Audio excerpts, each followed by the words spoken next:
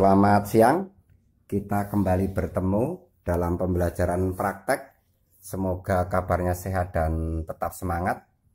Uh, baik, uh, di depan ini adalah gambar sistem uh, penarikan kabel data atau sistem jaringan memakai ONU atau ONT, unit jaringan optik atau terminal jaringan optik atau optik networking unit atau optik network terminal.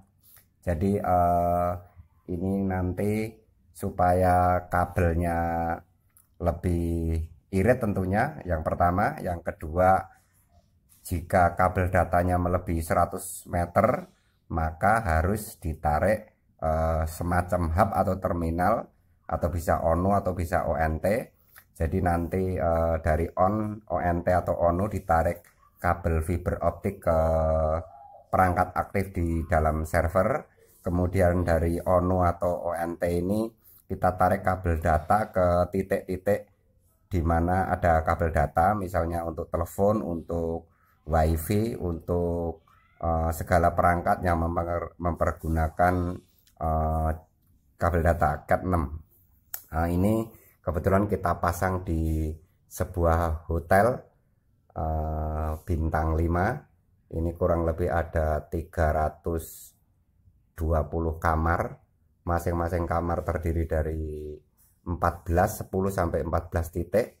Untuk ada CCTV-nya ada TV kabelnya ada teleponnya ada wifi-nya ada kabel untuk ke laptop atau internet. Eh, dan kabel-kabel yang berhubungan dengan uh, internet.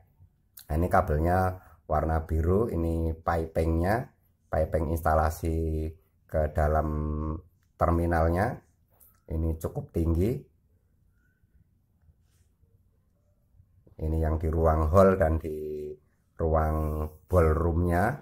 Jadi cukup tinggi. Ini koneksi atau tarikan pipanya ada tandanya warna merah dan warna coklat, ada yang biru, ada yang hijau, ada yang kuning, sehingga dari tampak fisik sudah kelihatan ini kabel apa. Terima kasih.